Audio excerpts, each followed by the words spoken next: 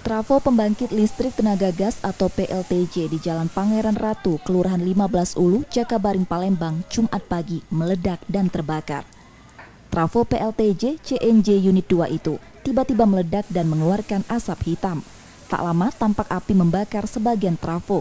Kebakaran membuat warga di sekitar lokasi kejadian terkejut, kemudian menghubungi pemadam kebakaran. Api dapat dipadamkan satu jam kemudian setelah dua unit pemadam kebakaran diturunkan ke lokasi kejadian. Polisi menduga kebakaran diduga akibat arus pendek listrik di bagian trafo pembangkit listrik tersebut.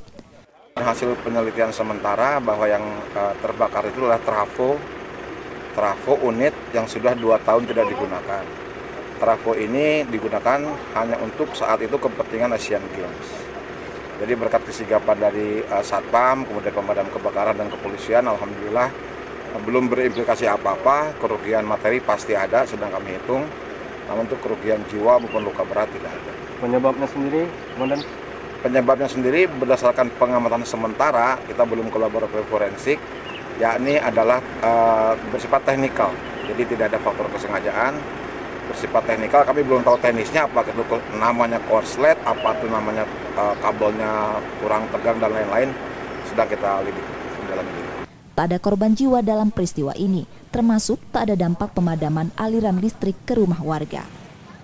Eh, kami belum melakukan investigasi ini dugaan sementara mungkin ada short circuit yang menyebabkan uh, terjadinya kebakaran di sisi trafo unit 2 kita.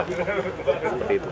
Jadi nanti uh, mungkin kami akan investigasi dulu untuk lebih detailnya nanti ya lebih detailnya. Karena ini membutuhkan uh, penyelip, uh, apa, investigasi khusus lah Trafo yang terbakar merupakan pembangkit cadangan untuk event besar di Komplek Olahraga Cakabaring dan tak digunakan lagi. Yudi Kiswanto, Kompas TV, Palembang.